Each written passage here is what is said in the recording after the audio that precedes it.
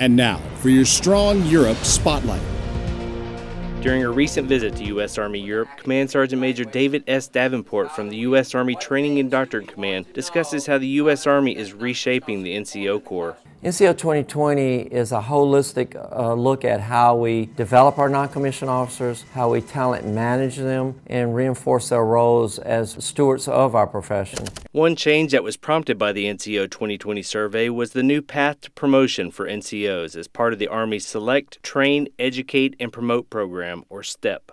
So what STEP does is now it says that you have to be selected on your performance, your potential, and character. The organization trains you in your core competencies. In the institution army, when we give you the formal education, we certify that and that leads to promotion. So soldiers have to understand that process. For more on the Army in Europe, go to eur.army.mil.